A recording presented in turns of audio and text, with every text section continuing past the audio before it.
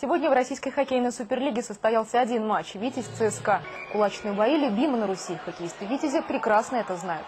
Канадские богатыри Дарси Верот, чье призвание устраивать драки на льду, в третьем периоде затеял потасовку с Сергеем Розиным и вышел победителем. До сего момента хозяева уступали со счетом 0-3. После рукопашной «Витязь» заиграл живее. Сначала Олег Калаша, а затем Андрей Подконицкий всего за одну минуту сократили отставание. Но для победы не хватило и третьей шайбы хозяев. 4-3 в пользу ЦСКА.